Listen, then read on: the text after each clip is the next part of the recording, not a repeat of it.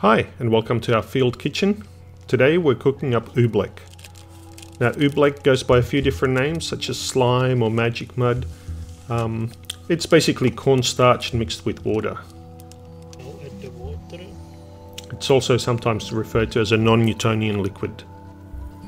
It's got the unusual property that when you apply stress to it, the viscosity really increases and when you release that stress, it turns liquid again. Here's a good example of it. So if you hit it really hard, it resists, but if you press slowly, it allows the spoons to sink in. So for the first flight, we made up a thicker batch and see how it would behave.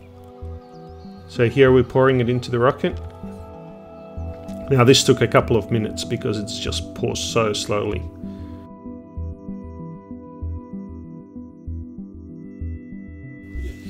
And then we put on the 9mm nozzle.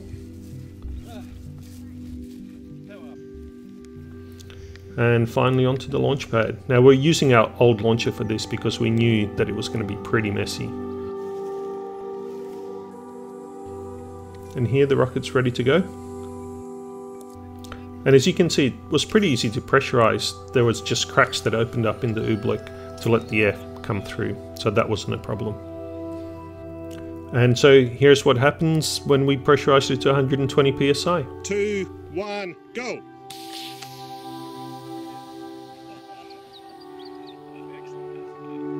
But wait, it's fully pressurized. It'll take off.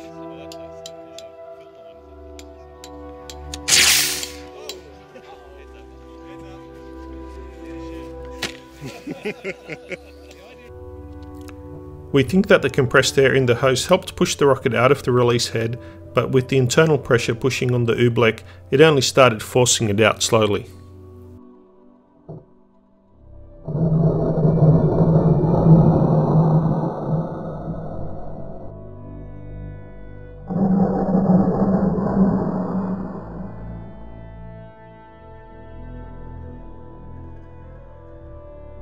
Although the parachute deployed at apogee, there really wasn't enough airspeed for it to fully inflate before it hit the ground. But no damage was done, so it was ready to go again.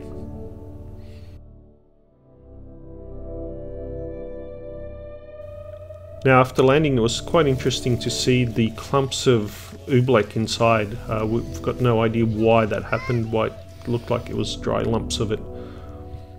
Okay, so cleanup wasn't as straightforward, but with a little bit of water that was fine. So on the second try we added a bit of food colouring and made the whole solution a little bit more runnier to see if that would affect the performance.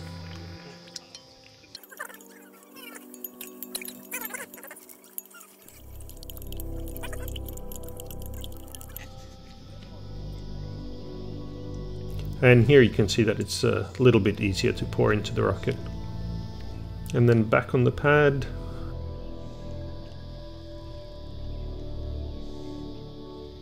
Now we made sure that the break wire was pretty slack so if it was going to do the same thing again that it wouldn't deploy the parachute when it popped off the launcher. We had to wait about 5 minutes for all of it to drain into the lower bottle. And so here we go again at 120 psi. Three, two, one, go!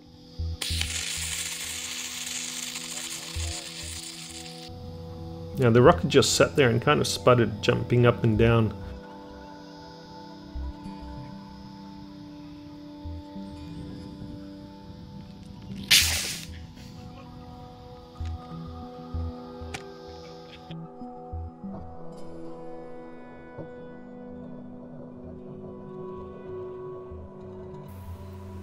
Now we've considerably sped up the footage here.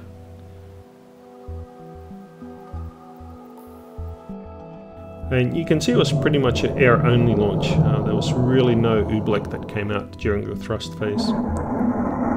So there you have it. Oobleck is not really an optimal fuel to use in your water rockets. Thanks for watching. See you next time.